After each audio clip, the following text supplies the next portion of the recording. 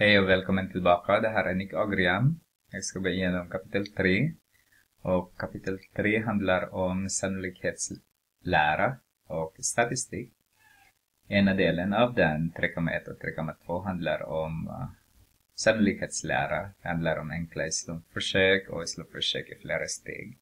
Andra delen handlar om statistik eh, och det handlar om själva statistik och statistik och kalkylprogram.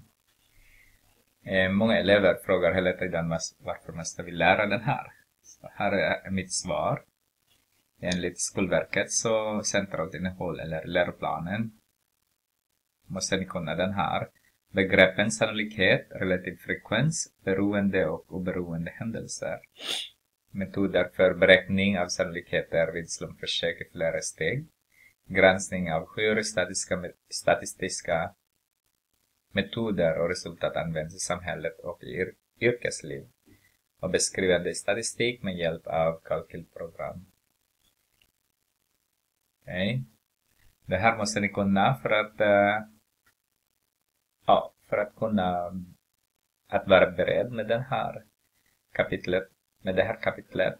Ni måste kunna tal i blockform, tal i decimalform och procent. Varför procent? Jo, därför att sannolikhet är väldigt, väldigt nära besläktad med procent. Så, eh, och sen prioriteringsregel då. Och förutom de som fyra räknesätt som ni måste kunna. Alltså addition, multiplikation, division och subtraktion. Ni måste kunna dem också. Okay, några begrepp eh, som vi måste kunna. Slumpförsök, när vi pratar om slumpförsök. Eh, när till exempel kanske du har gjort innan så kastar du eh, en tärning. Så det är ditt slumpförsök. Eller ni kastar, eh, vad heter det, eh, mynt. En krona mynt. Så får ni också ett slumpförsök. Eller ni gör den här med eh, sten, sax, påse leken då. Så ni gör slumpförsök där också. Eh, man kan göra experiment av den. Hur mycket möjlighet eller hur många procent är chansen att jag får vinna till exempel. När vi pratar om kasta eh, tärning till exempel. Om jag tar ett, vad om jag satsar på ett, hur stor är möjligheten att jag får vinna? Mm. Möjliga utfall, det beror på vad har ni. Till exempel, vi pratar om uh, kasta tärning, sexsidig tärning, så har ni sex möjliga utfall. Kastar ni mynt så har ni bara två möjliga utfall. Leker ni med sten, sax, påse så har ni tre möjliga utfall. Eller leker ni med uh, kortlek så har ni 52 möjliga utfall. Jag pratar inte med om jocker då. Pratar bara om de riktiga kortlek då. Så det är 52 stycken. Så 52 möjliga utfall. Händelse. Så varje gång ni gör ett slumpförsök, det är ett händelse, en händelse. Eh, När vi kastar tärning till exempel, det är ett slumpförsök och det är också en händelse. Och sen sannolikhet, eller Ja, kanske ni kan tänka er några ord. Sannolikhet, det handlar om uh, chans eller möjlighet. Så sannolikheten för en händelse anges med ett tal från noll, från och med noll och till och med ett då. Så jag skriver här nu P. Händelse, varför P? Eh, sannolikhet på svenska heter det på engelska Eh, probability. Och den där beteckningen har vi tagit också, P. Av, ett, eh, av en händelse är större eller lika med noll, men mindre lika med 1.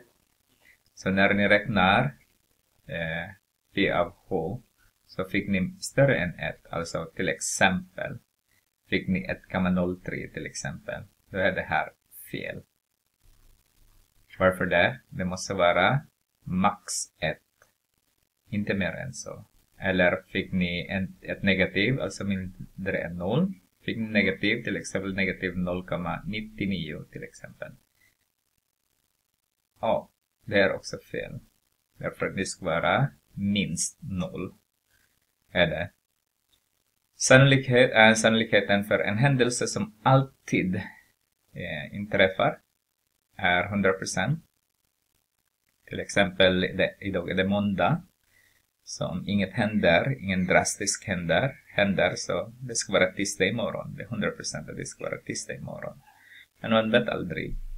I Sverige i alla fall. Det finns ingen som säger att de ska ändra namnet på dagarna just nu.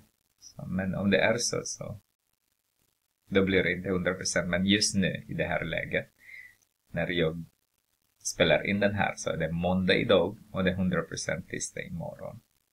Sannolikheten för en händelse som aldrig inträffar är 0 eller 0%. Ja, ska man säga. Till exempel i det här läget kanske är sannolikheten att någon kan eh, ta sig in i, i solen till exempel. Kanske. Det är fortfarande 0%. Man vet aldrig i framtiden när man har byggt en eh, eh, en farkost som tål mycket, mycket värme och eh, samtidigt kyla in, kyler in inne i farkosten då. Men det är jättekomplicerat, men man vet aldrig. Men just nu, när jag spelat in den här eh, vid, videoklippet så betyder det 0% just nu. Den klassiska sannolikhetsmodellen eh, betyder så här. Summan av sannolikheterna i ett slumpförsök är 1 eller 100%. Jag ska gå igenom det där senare. Men det står så här. Eh, sannolikheten av händelse, eller jag skriver kanske PH. Så. Eh, antalet gynnsamma utfall dividerar på antalet möjliga utfall. I kapitel 2 så gick ni igenom andelen är lika med delen av det hela. Om man, om man kan associera så att det blir enklare att förstå. Där här sannolikheten motsvarar andelen. Gynnsamma utfall motsvarar delen. Och antalet alla möjliga utfall motsvarar hela. Mm. Ska vi titta på ett exempel?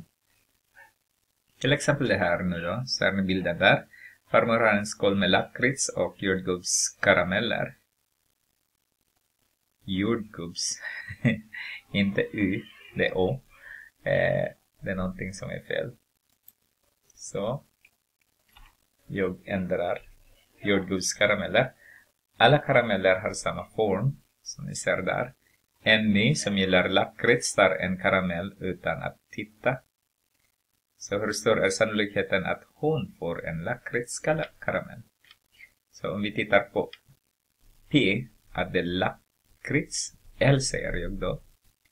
Så tittar man hur många lakrits som finns, alltså delen. Så det är två stycken. Och tittar man hur många som finns i skålen. I skålet. Nej, skålen. 1, 2, 3, 4, 5, 6, 7, 8. Så det här är en fjärdedel. Man kan skriva i bruttal, man kan skriva i decimal form eller man kan skriva i procentform. Så sannolikheten får du skriva i olika sätt. Men som ni ser det är procent också. Och sannolikheten att man får jordgubbar eller jordgubbskaramell är det. Är 6 åttondelar eller förkortar vi med 2 förkortar vi med 2 så får vi 3 fjärdedelar eller 0,75 procent eller inte procent än eller 25 procent eller 75 procent. Så ser du att det är 100 procent. Det är den som säger den förra gången som jag har sagt här. Summan av sannolikheterna i ett slumförsök är 1 eller 100%. Alltså summan av de två sannolikheterna är hela tiden 100% eller 1. Eller 1. Så 1 av 1. Så 4 av 4 om man säger så. så. Eller 8 av 8. Det kan ni säga också. Ja, ska vi titta en annan då. Joel slår ett slag med en tärning. Hur stor är sannolikheten att han får en fyra? Sorry. sannolikheten att vi får en fyra. Så får vi hur många fyror finns i en vanlig tärning? Sexsidig, så det är bara en av sex sidor. Så har vi en sjättedel, eller 0,5.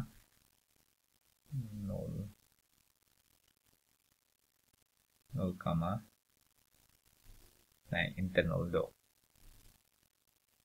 Eh, Jag ska bara sätta. Jag har ingen miniräknare just nu så. Tänkte på.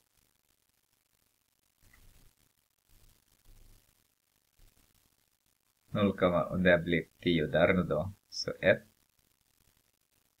Och sen eh, 4 där. 36. 6 då.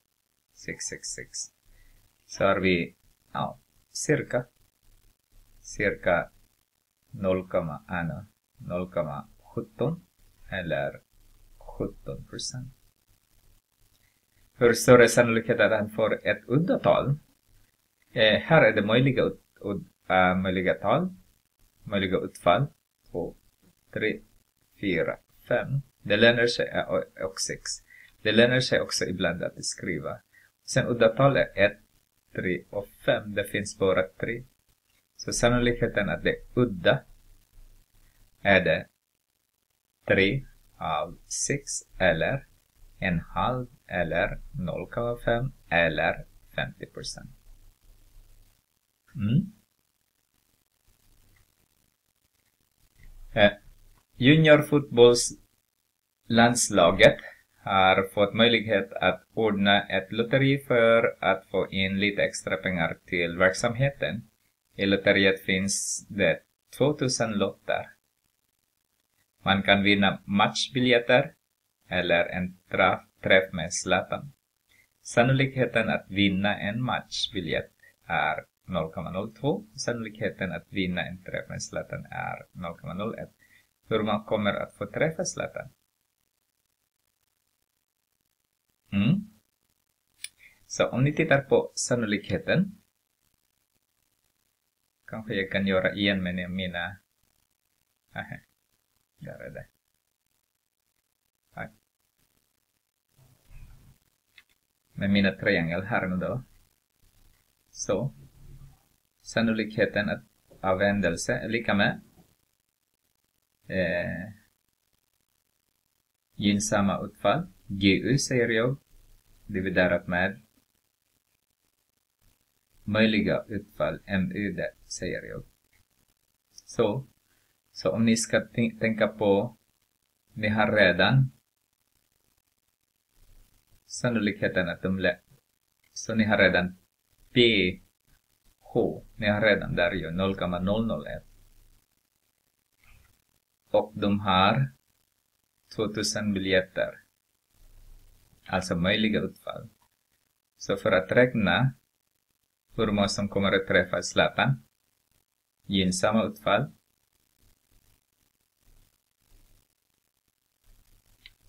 utfall då är lika med. Ni ser där.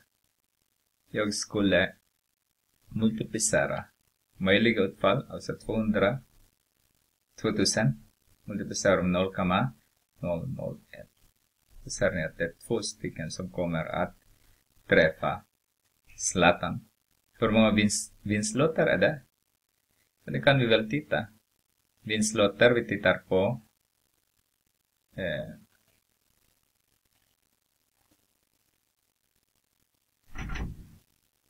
Vi måste först räkna att vi har också vinstlott som är 0,02 matchbiljetter. Så gynnsamma utfall så har vi 2000 multiplicerar med 0,02 så har vi 20 multiplicerar med 2 Så det är 40. Så det finns 42 stycken vinstlott. Varför det? Det finns 40 där och det finns 2 där. Där också. AIK köper 100 lotter. Hur många av dessa är sannolikt, sannolikt nittlotter? Kom ihåg att det är 0,02 där, 0,001 där. Så totalt vinst, sannolikheten att det är vinst, är 0,021 om ni adderar den där två. Så om jag tittar på att det är nittlott, nit, alltså den vinner inte, så får jag 1 så tar 0,021. Så har jag 1 så tar 0,021. Så 0,979. Så om jag räknar nu då 2, äh, 100 stycken köpte de, multiplicerar med 0,979. Och då har vi 97,9 eller cirka eller 98 stycken som är nytt lopp. Ja, det är lite svårt att vinna egentligen. Men, men så är det. Vill man hjälpa till i, den, i deras verksamhet så köper man kanske. Så det är bara två stycken som är vinstlott egentligen. 2% står här. Mm. Ett till exempel. Sabina praktiserar som vaktmästare och ska byta ut alla glödlampor mot ledlampor. I en stor kartong ligger totalt 45 lampor. Okej, okay. så 45 lampor. Hur stor sannolikheten att hon tar en lampa på 3 watt så har vi 45 är det totalt ju. Och eh, vad heter 5 är 3 watt 10 är 3 watt, så 10 är det. Så sannolikheten är 3 watt, säger jag. Så 10 dividerat med 45 har jag 0,22.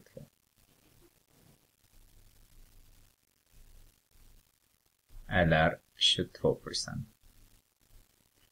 Hur stor är sannolikheten att hon inte tar en lampa på 2 watt? 2 watt är resten.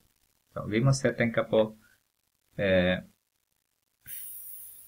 6, nej 8 watt är 5 av dem är så 5 adderat med 6 adderat med 5 nej det är också nej 7 stycken. Förlåt. 8 watt är 5 stycken. 6 watt är 7 stycken. Lika många 5 watt. Det är 7 stycken också. Och 10 3 watt. Så har vi 19, 29. Så 2 watt är 29. 45 så tar jag med 29. Så har vi 6. Här.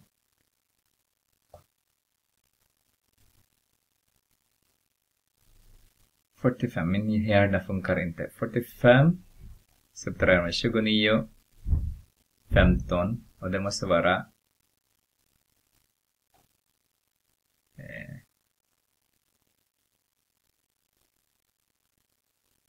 femton. Det måste vara sex ju. Eller hur? Nej, 45 subtraherar med 29, min hjärna. Ja, det måste vara 16. Jag hade rätt i. Jag var tveksam bara. 16. Så 16 som är 2 watt. Men 29 som är. Jaha, jag behövde inte ens räkna. Så sannolikheten att inte 2 watt är. Vi har 29 totalt. Jag ska titta en gång till. 5 av dem är 8.